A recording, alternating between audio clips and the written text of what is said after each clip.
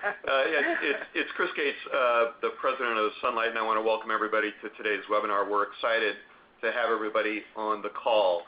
I think that, uh, for those of you who have read a bit about this, we've spent a great deal of time trying to explore the relationship between those who spend money, either through political campaigns or through lobbying, to influence policy, and then what that translates to on the other end. And so the the Fixed Fortunes project has been Um, an immense amount of work over a long period of time, and we're excited that Bill Allison will walk through uh, the presentation today. For those of you who don't know Bill, he's the editorial director here at Sunlight. He's been with us since our inception in 2006, and before he was at Sunlight, he was at the Center for Public Integrity, and before that, the Philadelphia Inquirer. He's done a great job in pulling an immense amount of information uh, and complex information together in a way that tells a story that's really important. So with that, I'll turn it over to Bill.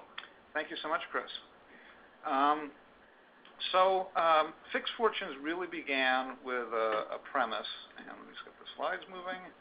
Um, and the premise is actually in the Citizens United case, uh, Citizens United versus FEC. And this idea was that, uh, uh, and as I love the way they phrase this, that democracy is premised on responsiveness, and basically that they include in the opinion, you know, this line about how, um, basically the only legitimate reason to give a campaign contribution or to vote for somebody is that you want certain policy outcomes. Um, this is actually, you find this in Justice Department language too. This is from the U.S. Attorney's uh, Manual for going after public corruption, and it describes that you can go after a bribery charge on a campaign finance, but it's under very limited circumstances. And I highlight a little part of this text because the Justice Department says to their U.S. attorneys that campaign contributions are almost always given and received with a generalized expectation um, of currying favor with the candidate benefiting therefrom. And you know, that to me, you know, I think really says a lot about how our system works. Uh, if you think about it, we just got through an election where, um, you know, we have, you know, all of these people raising tons and tons of money, and I don't mean to pick on any one particular politician, but I just happened to see this in uh, Politico and The Hill writing about this. And you know, had Republicans lost the majority in the House, you'd be seeing the same kind of stories about how John Boehner is so great at raising money. But um, uh, in the interviews, uh, and this was an indirect quote from Politico, but she said that the donors give money because they believe in the Democrats' mission, which is a little bit different from the way the Justice Department looks at it. And again, just to uh, give you a little perspective, Nancy Pelosi raised $100 million for the DCCC. That meant she spent 200 days on the road raising money, and, you know, she's very proud of her ability to do that. And I don't think instantly the people in the picture are the kind of people that she's raising $100 million from. But one of the big problems with our uh, our campaign finance system, we have a lack of disclosure when people do raise money from these other, you know, it's very hard to trace back which candidate is raising or which member of Congress is raising the leadership money. But that's a separate issue, uh, which we're not really gonna address here. So let me get back to Citizens United for a second. Folks let me move it. Um, So there were two other quotes in Citizens United that we found interesting, and this was ban on corporate speech is not, you know, just because you have a political action committee doesn't mean a corporation can speak. That it's a separate entity, it's hard to set up, it takes time. Uh, and further, you know, it quotes, uh, there's a, in the second, it says that basically you can't have effective communication because it takes too long to set up a PAC or it's too burdensome. And this actually comes from a Scalia, a line from Scalia's dissent in McConnell, where it quotes, and it talks about, you know, what would happen if Congress were to instantly decide it was going to ban nuclear weapons or or uh, overturn, you know, I'm sorry, ban nuclear power, overturn the Second Amendment, uh, pass some kind of horrible environmental law.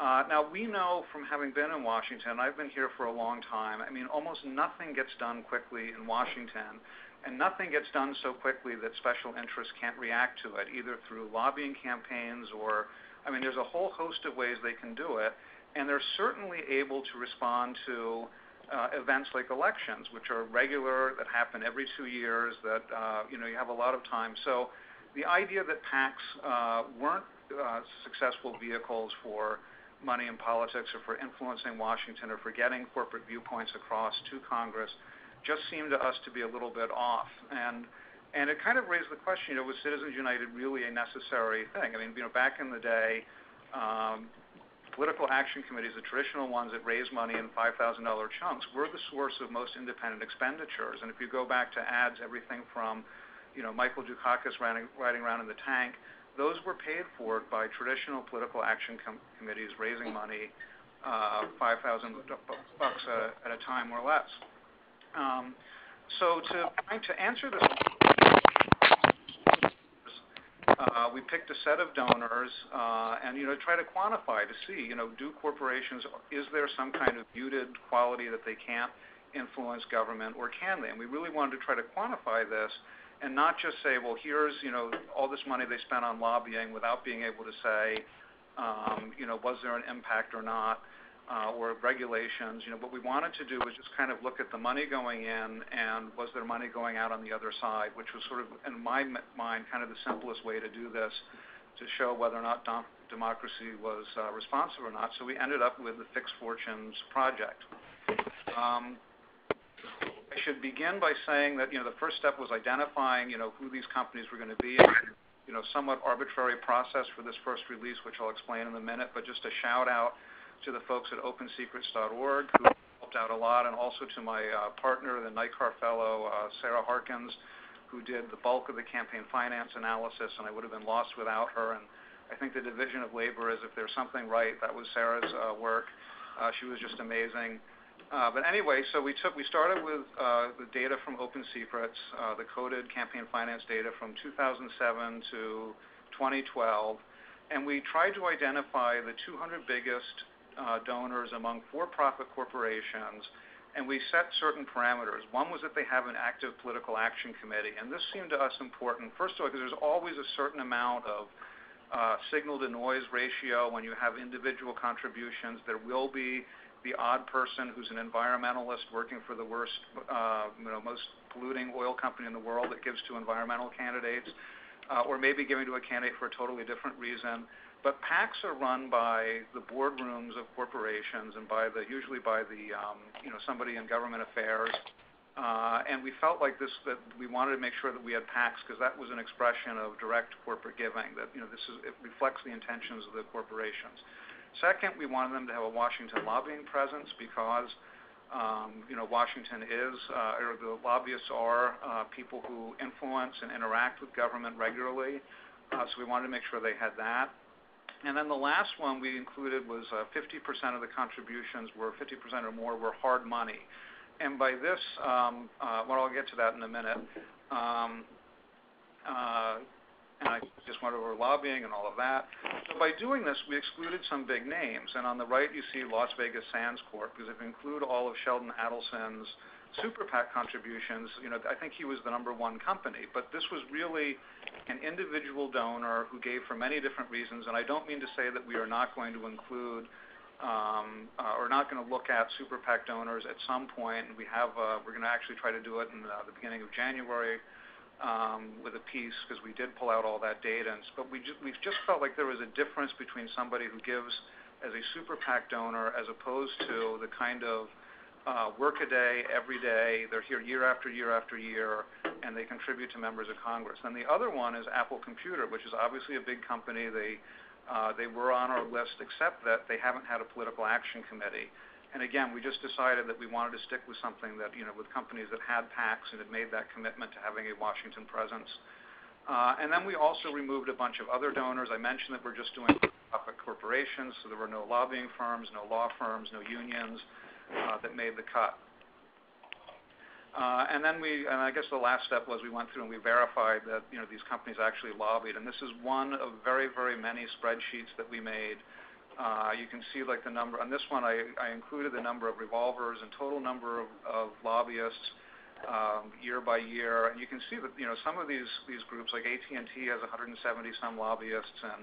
Uh, you know, these are not small groups of people that are working uh, Capitol Hill for these organizations. Uh, um, so, then, so once we had identified the companies, the next step was to figure out something about them. So and one of the things that we were interested in was, you know, because a lot of these organizations have subsidiaries, and a lot of those subsidiaries turn up in federal datasets, and if you don't know the name of the subsidiary, you can't link it to the parent. Um, so this was like a real slow and tedious process. We used, uh, obviously, we took advantage of Center for Responsive Politics, which already does a lot of this work, identifying parent and child relationships, but that's only for companies where a employee has contributed to a campaign that they will find that. There were several where that just wasn't the case. And you're looking at Finmeccanica, you know, here are five subsidiaries. The one at the very bottom, uh, which is um, uh, Fermont, uh, they make um, generators, portable generators for the military, and they haven't been called that in I don't know how long. I couldn't even find a company logo online. The closest I could get for an image for that is this, you know, generator plaque. Um, but they still show up in federal. And I'm sorry, this was a huge. I'm gonna skip a slide. That company name still shows up in, you know, government documents. And you know, here's one where uh, you've got Fermont of Bridgeport, Connecticut. This is a budget document, and that's an upcoming release. We're gonna really analyze these in depth. Um, uh, you know, but so there's this company turning up, and if you don't know, you know, that they're actually now DRS Power, which is part of Finmeccanica, it's something of a mess. And, and here, incidentally, are all the different names of organizations that are part of DRS. Uh, and actually, that's not all of them. That's just like one tiny slice of a very, very long uh, database uh, with all these different organizations in them. So once we'd had our companies and we were confident that we had, like, a pretty good idea of of um, who the subsidiaries are, we decided to take a look at, um, you know, start looking for data and what were they getting. And, you know, one of the first sources we went to was usaspending.gov. Uh, I know the data is not great in this site, but um, you know, uh, Sunlight was instrumental in getting this stuff released online.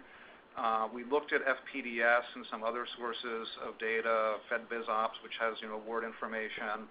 And we just felt like this was, for our purposes, the best to work with. FPDS had some strange things like, um, um, I'm trying to remember. Tennessee Valley Authority contracts show up, and Tennessee Valley Authority doesn't actually report its own contracts. It was other government agencies reporting those contracts, which was just a little bit off. And when we talked to TVA about them, they weren't quite sure what they were, and they said that, you know, they weren't gonna verify those numbers. There were just, like, some weird things like that, and we just thought for consistency's sake, we'd stick with USA Spending. Um, and then we also went to, um, uh, we got data from the Treasury, and this was one of my favorite things. This is one of the TARP spreadsheets and an explanation of it, and that was a lot of fun going through all of that kind of stuff. Uh, and we also did some FOIA requests. There was one major data set we were trying to get from the Treasury Department, which we weren't able to get, although I hope at some point we'll get it. But uh, that would've made this a lot easier, although maybe a lot harder because it was a huge data set. And standardizing it would've been a real pain in the neck. But anyway, so that's what we did. What we, we did, and so and so here's kind of what we looked at, uh, and where we got, you know, different sources of data or different uh, information from. And like with USA Spending, we downloaded both individual company records just doing this front-end, you know, search, and we would also download, like, the whole agency, and we try to cross-reference them, make sure that there wasn't, um, uh, you know, differences and Uh, errors. Uh, we used some of recovery.gov. I mean, one of my favorite stories, and actually it doesn't end up in the data because we could never. Uh, we found out that Allison Transmission was not a wholly owned subsidiary of Carlyle. It was only a third. Carlyle Group, which is one of the organizations, they practice what they like to call access capitalism. It was a bunch of former government officials who founded the group, and they work in highly regulated areas of the economy. Um, one of their uh, acquisitions was this company, Allison Transmission, and uh, one of the very first things they did after acquiring it from General Motors was to get a $62.5 million grant from the Energy Department uh, to help that company retool and start making hybrid transmissions for trucks and buses. Um, uh, from data.gov, we got EXIM Bank data. Um, uh, it was just better to get it from there. That was one of the very few exceptions where we didn't use USA Spending data. And the reason was, on data.gov, you can not only see who the company uh, getting the loan is, you can see the company that's the exporter, which is actually being paid the money, and then you can see the organization that's getting the loan guarantee. And this would usually be like JPMorgan Chase and Uh, Citibank, and a bunch of other uh, big banks. And then on the treasury side, we pulled in the TARP programs, uh, information from the takeover of AIG, and then the Federal Reserve, a lot of their interventions in the market. Um, in the in the project, we use the term $4.4 trillion in business and and federal business and federal support. And the distinction between the two is, you know, it's Uh, business is money that's kept by the companies, and by that I mean, you know, when you get a contract, you're paid to do work, you don't pay that money back. When you get uh, an AIG counterparty payment, you know, that we've included that. Uh, this is when basically AIG had a bunch of contracts with a bunch of different um, um, financial institutions, and if they ran into financial trouble, AIG would bail them out. They ran into financial trouble, AIG didn't have the money to bail it out. Taxpayers gave them that money to help them. This is basically insurance against making bad uh, investments. And uh, that was money that these organizations didn't have to give back, so we included that. And then lastly, we have the EXIM Bank's payments to exporters. And, you know, and there's a little bit, you know, you can count EXIM Bank money three ways, and I should add, we were very careful not to double count any uh, money. Um, When you hear defenders of the Export-Import Bank talk about what it does, and it talks about how these deals would not happen, uh, Russia would not, Russian airlines would not buy airplanes from Boeing, and Malaysian airplanes would not buy airplanes from Boeing if the Export-Import Bank didn't step in to loan the money to those airlines to buy the planes from Boeing. So we felt it was fair to include that, that these are deals that would not have happened without the Export-Import Bank for Boeing. Uh, and then we have the second category is kind of what I like to think of as conditional money. And, you know, this is money that has to be paid back or should be paid back. Um, there's a I have a whole list of it. You know, actually, if you go to the download page, you can get, you know, all these different raw data sets. But some of the big ones, the Capital Purchase Program, uh, auto industry financing, and the target Investment Program from TARP. And one of the things that was really interesting, we found that, um, you know, these companies that, or companies in our um, Uh, Fixed Fortunes 200 got 298 billion out of the 410 billion that was ultimately spent uh, on TARP. Uh, you know, the original Emergency Economic Stabilization Act, I think, was like about 760 million it called for. The program ended up being a lot less. And again, this is all money that's paid back, but it's also money that, you know, a lot of these companies needed to survive. Um, there's, you know, you can debate whether or not, you know, there's been some talk that, you know, well, Bank of America didn't really need the money or Citigroup or JPMorgan Chase. Well, there were big financial organizations that just turned down the money, New York Life Insurance being one. They were actually one of the companies when we went across in every single category. I mean, I think they came up with goose eggs all the way across. So it's not as if these had to take this money if they didn't want to. Uh, we also included, you know, a bunch of Federal Reserve uh, programs, and I'll have a little bit on that in a second. Uh, the one thing which I really wanna tell you is that these are squishy numbers, as you know, any big federal data set and any kind of thing where you're comparing all kinds of different data sources. And Let me just give you an example. The contract numbers that we use, these are dollars obligated by the federal government. So Lockheed Martin or Northrop Grumman or any company wins a contract for $100 million. They may hire Raytheon or um, Joe's Coffee Shop to do some subcontracting for them. So Lockheed will keep less than that $100 million. Uh, but it also doesn't include any subcontracts that Lockheed Martin would get or any other federal contractor. So, you know, it's tough to say what the true amount of revenue from federal contracts any of these companies have. Although where we could, uh, we ran, uh, you know, we checked annual reports. And you know, here's an example. This is from Lockheed Martin, and we did six years of these that roughly correspond. I mean, their fiscal year is a little bit different than the fiscal than the years that we were looking at uh, for the campaign finance. But you know, Lockheed Martin explains that they had 82% of revenue um, uh, was from the federal government, and these are both contracts and subcontracts. Um so you can calculate, and they also give you their total revenue. And so when we broke it down, you know, we found from USA spending $213.8 billion in contracts for Lockheed Martin.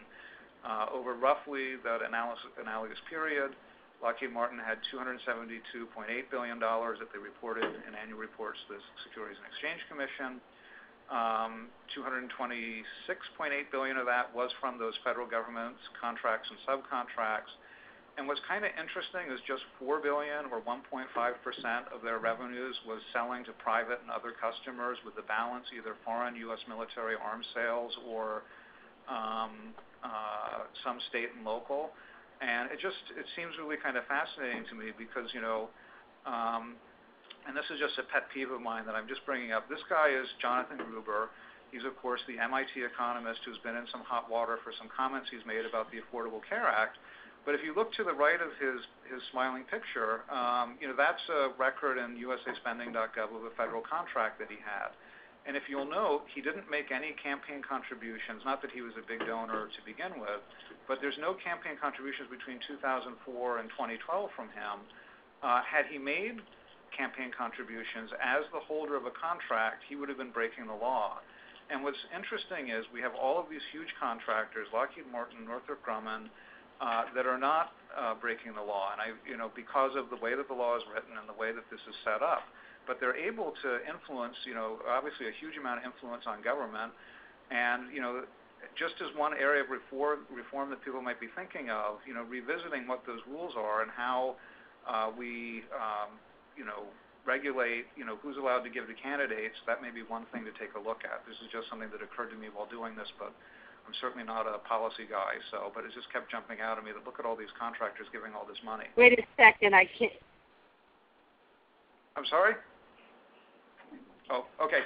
Uh, we also included uh, some extra information from other organizations, and Citizens for Tax Justice were kind enough to let us link to some of the studies that they did. You know, one of the things that, you know, obviously we're quantifying as much as we can, but there's a huge amount of federal influence that has nothing to do with contracts or money or, you know, um, uh, support from the Federal Reserve.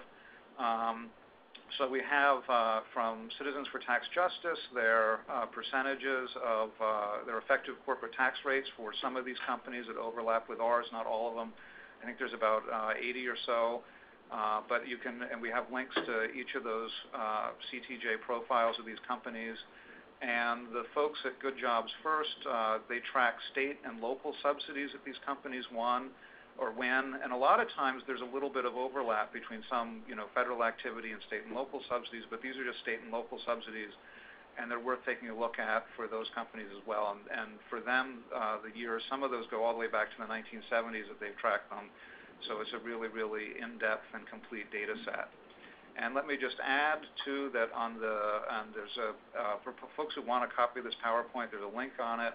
But on our Fixed Fortunes page, uh, you can get uh download all the data that we um, uh, put together for this, uh, download it and a CSV.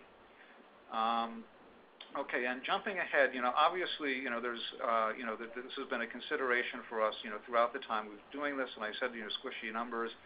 Um, know, the obvious problem is, you know, are we comparing apples and oranges and xylophones by coming up with a number by 4.4 trillion?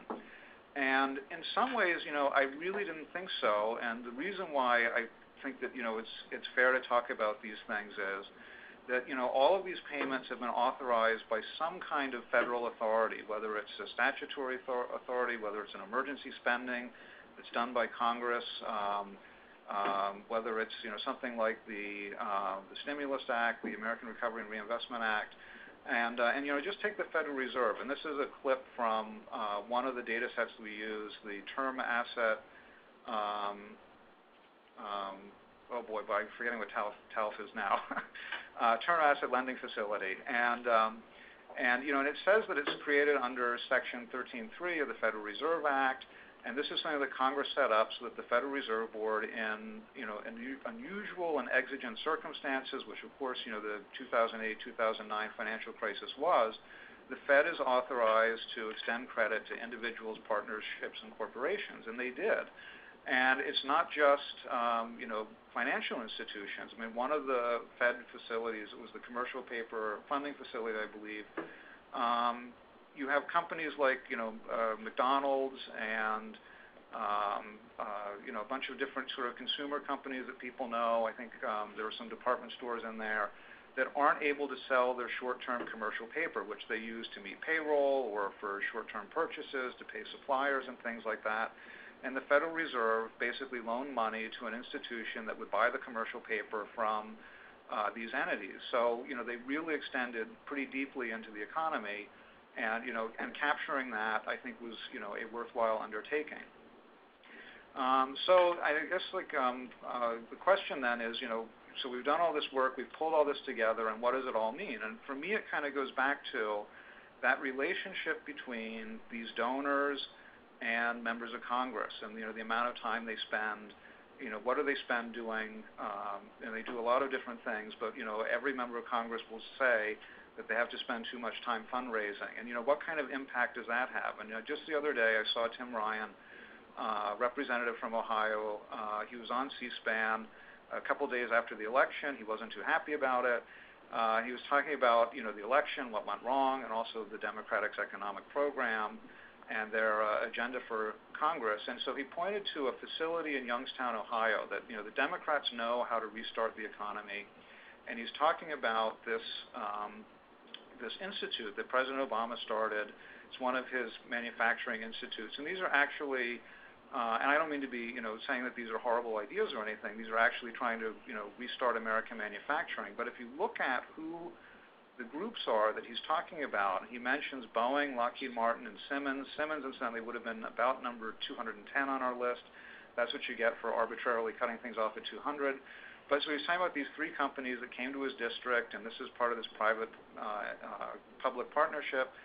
And, uh, you know, if you look at this program, the companies put up $2 million to participate. The federal government puts up about 50 million, and they're doing research on different manufacturing techniques. But I went to Influence Explorer, you know, just to take a look at, which is a Sunlight thing, and I plugged in a bunch of different fields. And, uh, you know, I happen to know the Penguin PAC was Tim Ryan's PAC because when he started it, I was the one who uh, was able to trace it back to him when Open Secrets had Find the Mystery PACs. Um, but anyway, so we pulled this together, and you've got, uh, you know, Tim Ryan, his PAC, and the three donors, and the three cycles we looked at. And there were 46 separate contributions from Boeing, Lockheed Martin, and Siemens to him over that time, $57,000 in all. It's not a huge amount of money. Um, eh, but you look at the other participants in this um, in this uh, manufacturing initiative. You've got General Electric, General Dynamics, Honeywell, Timken, among others.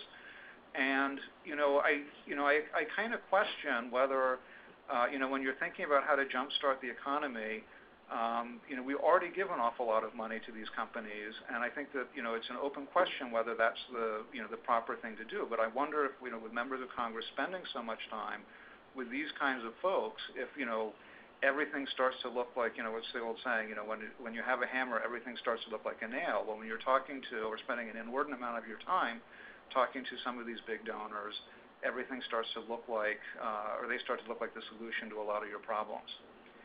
And at that moment, I'm gonna pause or stop and open up the floor to questions, if there are any. And I think it's um, star six, star seven to unmute. Star six to unmute. Star six to unmute, sorry. Um, it might be helpful to um, show a little bit of your findings from the story. Oh, sure. If you want to. Yeah. So, and let me see. Uh, can you share? Yes. Okay.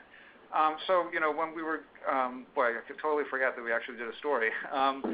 So, you know, when we're doing this, you know, I mean, one of the most amazing things to me is, you know, so we looked at, you know, the number of contracts that were uh, given. And again, government contracting numbers are incredibly, incredibly squishy. Um, uh, but the government says, you know, its best estimate is about $3 trillion in contracts it gave out between 2007 and 2012. And if you look at what, Um, you know, some of these companies got, it was the companies on here that got contracts, that was $1 trillion.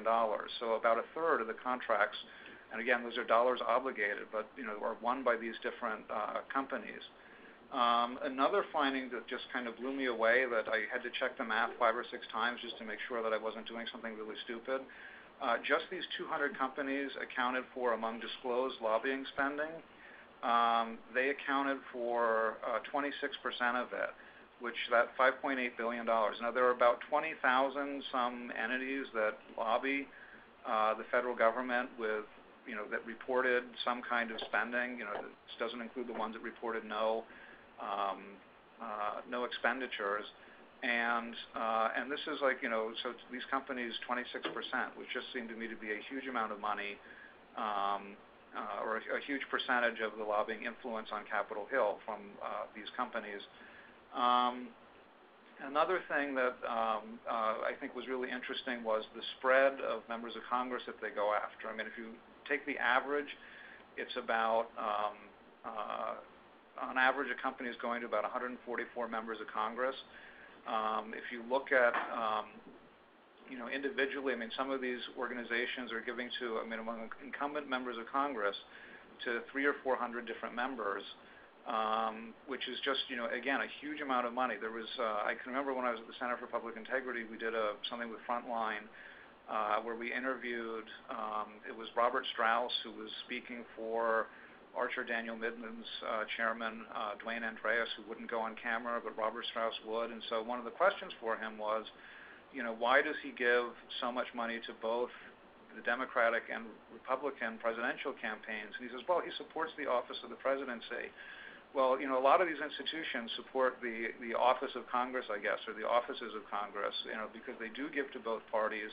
Not every company, there are splits. The energy companies tend to give more to uh, Republicans. Some of the telecommunications companies, particularly the ones like, you know, Time Warner and Disney, give more to Democrats. I think the same is true for some of the software companies. But um, but really, I mean, the the thing that's remarkable is how much they spread their money around on Capitol Hill.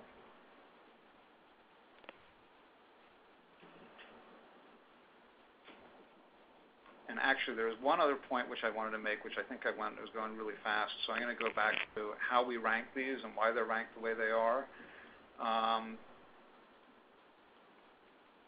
One of the things about lobbying donations, you know, we we would have loved to rank them by political spending, you know, the total.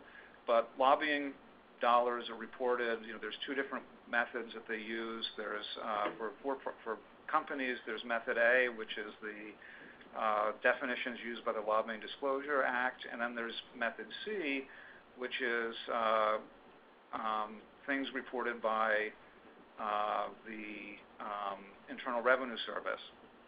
And the Internal Revenue Service does not allow companies to, um, um,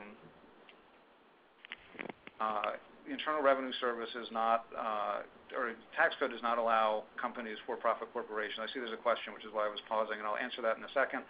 Um, Internal Revenue or Internal Revenue Code does not allow companies to deduct what they spend on politics. And so because they keep those numbers, Uh, they're allowed to report them, but the definition is different. It includes state spending and a whole bunch of other money that isn't covered by the federal definition. And some companies uh, report using Method A, some report using Method C, and there was no way that we could really consistently, um, you know, come up with a good political spending number.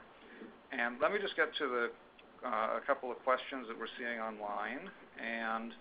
Um, There was a question about individual versus corporate donor rules, and I think that this refers when I was talking about the contracting. Um, it's basically, if you have a federal contract, you can't contribute to uh, a congressional campaign, you can't make an independent expenditure.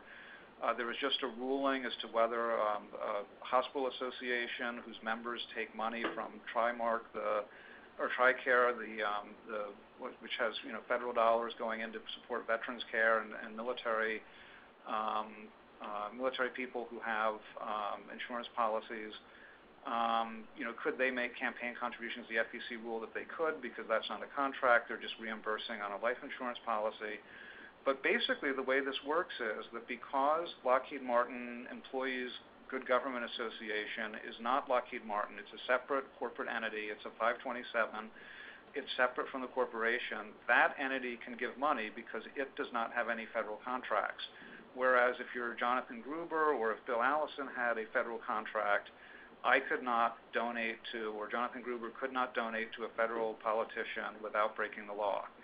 And um, uh, and that's, you know, one of the very strange things. And if we, again, you think about, Um, you know, the amount of influence that federal contractors have over the process, and we'll be documenting it in much more gory detail in the next, uh, or in a later installment of this, but when you when we look at the spending documents. But, um, uh, you know, they have a huge amount of influence and, you know, and part of that is through the ability to campaign contributions. And, you know, again, the definition of the courts. I mean, there was just a case in this, you know, one of the things that we found is there was very little super PAC money in this. Um, uh, there were, um, when we were looking at companies, um, and I think actually if we go back a couple of slides, you can see this when we were uh, identifying companies. And let me just see where that is.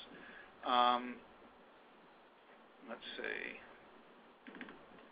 Uh, yeah, this one. Um and There's a percentage soft in column F, and that was the amount of contributions. And of course, there's a few in there that we ended up eliminating they're over that 50% tier. There's Contran Corp, which was Harold Simmons Company, and uh, Renaissance Technologies, which is a hedge fund, which also didn't have a PAC. Um, but uh, if you're looking, you know, most of these, you know, it's 0% that taking advantage of Citizens United. I mean, I think the one of the highest was Goldman Sachs, where, you know, you had 6%. Now, that was a lot of people giving to, Um, I think to Mitt Romney, uh, the super PAC that supported Mitt Romney, Restore Our Future, and a few uh, gave to uh, the Democratic side. But anyway, um, you know, corporations haven't taken advantage of this. There's, you know, there were the ones that we looked at who were, you know, perennially among the biggest donors. What they've done instead is, you know, they've continued to give money directly to members, campaigns of members of Congress, to party committees, and so on. Um, and, you know, they're still playing this, um, you know, traditional campaign finance game.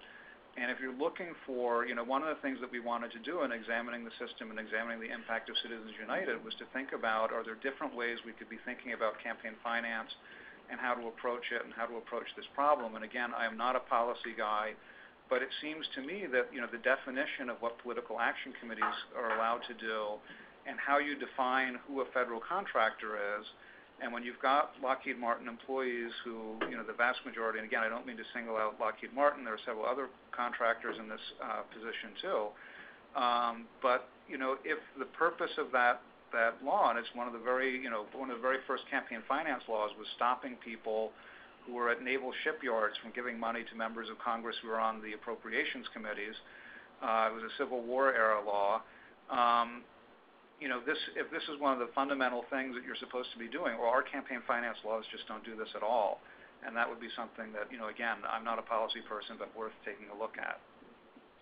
Um, and yeah, and I see that there's this. And I think I kinda answered that. There's a question of looking at both pre and post Citizens United, do you see any difference in how companies spent or how much they spent? And you know, to be honest with you, you know, we didn't see much of a difference. I mean, for most of these companies, they weren't affected. I mean, one that did do something different, uh, Chevron made from directly from their corporate treasury during the period we looked at, a $2.5 million contribution to. Um, yeah, Chevron's not on there, but uh, they didn't make that cutoff for that spreadsheet. They're a little bit lower. Um, anyway, but they made a $2.5 million contribution to um, the Congressional Leadership Fund, which some people have linked to John Boehner, and that was a little bit unusual uh, for this group of companies. I mean, we didn't see Uh, any other corporate treasury money going to these companies. I mean, these companies continue to play the same game uh, or do things the same way they've done them for, you know, the last, you know, the first three years of our study. There was a real consistency here on how they operated. And again, you know, uh, the super PACs donors, we will be taking a look at in a separate um, release. Um, um, You know, because I think do think there is a difference, and they definitely did have impact. I mean, we don't mean to saying that they're not. Um, you know, uh, Sheldon Adelson had a uh, you know had conversations with a bunch of Republican lawmakers. There was a bill introduced to uh, severely restrict internet gambling to reverse. Actually, I think it was an executive order made by Barack Obama about the wire laws or maybe the Justice Department finding. Uh, but anyway, you know, that's the kind of impact that you get when you contribute, you know, $45 million and your wife gives as much, uh, that you get members of Congress introducing uh, bills for you, or, you know, willing to introduce bills for you. Um, there's, you know, so we'll definitely be looking at them as in the top 25 super PAC donors. Uh, maybe not with the same level of, uh, you know, I mean, obviously, these guys are not getting, for the most part, TARP money or federal contracts, so it's a different set of things we're looking for with them. And Are there other questions?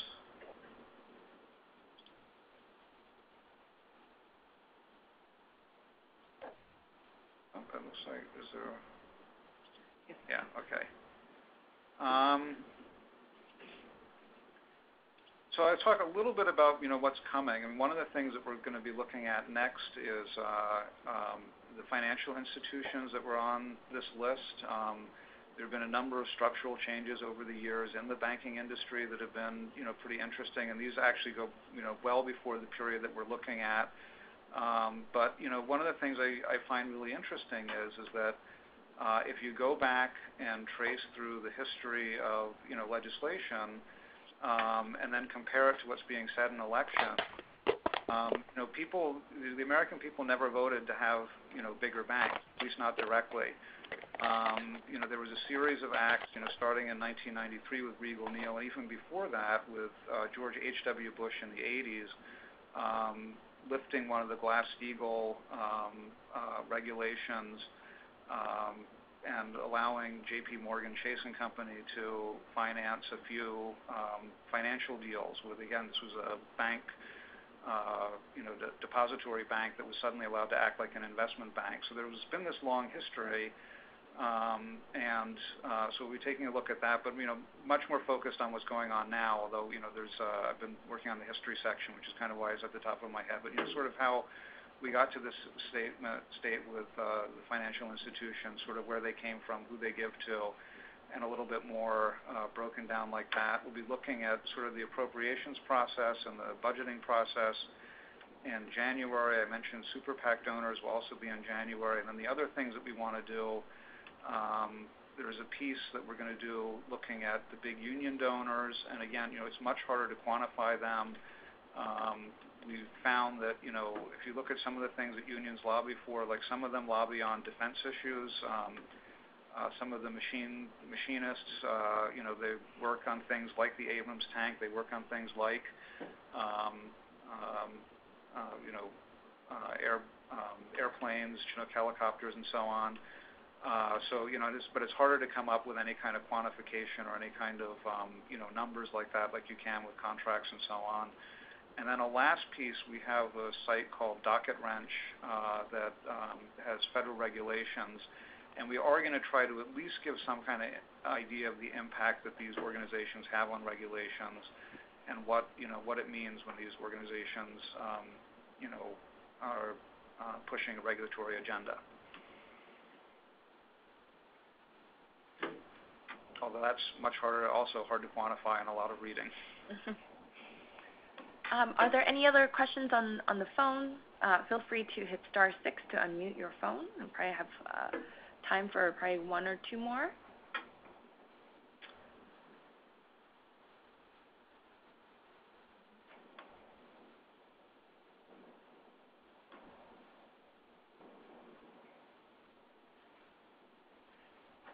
Okay. Um, questions going once, going twice?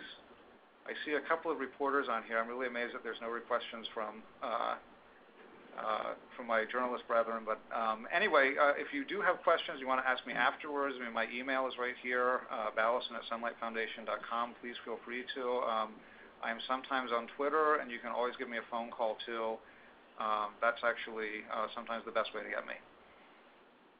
Okay, and we'll be archiving this webinar and we'll have it on, on the website and we'll shoot out a link um, as soon as we have it up on online. I uh, just want to thank everyone for joining us today and uh, hope to catch you on our next webinar. Um, and also feel free to um, uh, follow up on, on the stories. There are a number of links that I shared uh, throughout the, the presentation today. So uh, feel free to um, follow the analysis by Bill on Fixed Fortune. So thank you again for joining us, and um, we'll see you on another webinar soon. Thanks. Thank you all.